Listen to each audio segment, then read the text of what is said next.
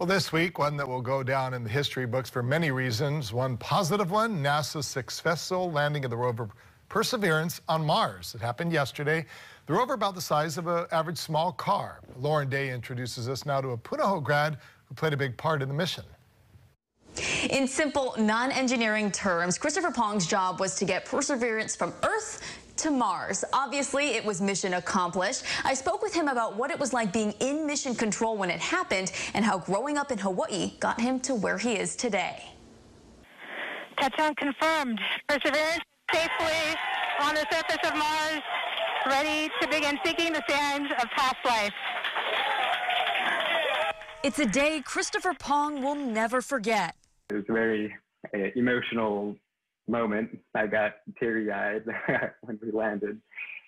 And yeah, it was just such a huge relief that we, we made it there successfully. You can see Pong in these photos wearing the red face mask. The guidance and control engineer was responsible for getting Perseverance to the red planet. From the launch vehicle, all of our sensors are turned on.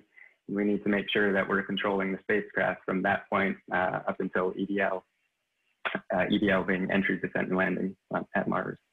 Perseverance is continuing to transmit. Pong says the day was nerve wracking.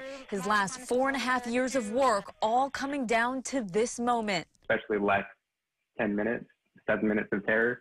There's just very little you can do. There's zero control that you have, and you're just sitting there watching the story unfold. Fortunately, it unfolded the way they had planned. If you're wondering how Pong became a crucial team member at NASA, it all started here in the islands. The Punahou graduate was interested in space from a young age. I built model rockets with my dad growing up. Um, I went off to uh, Future Flight Hawaii, and that's actually where I first learned about JPL. Pong says Hawaii is a big reason he's where he is today. We went to the, the planetarium a lot. Uh, we learned about you know, ancient Hawaiians uh, navigating by stars. So what's next for Pong? Well, it's on to the next project. A mission that will actually go and retrieve the samples that uh, Perseverance is collecting or will collect on Mars and bring them back to Earth. Pong credits his teachers and, of course, his parents for his success. I couldn't have done it without all of all of your support and helping shape who I am today. After graduating from Punahou, Pong went off to Harvey Mudd College. He then got his Master's of Science and Doctor of Science from MIT. Pretty impressive. Lauren Day, KHON2 News, working for Hawaii. Back to you in the studio.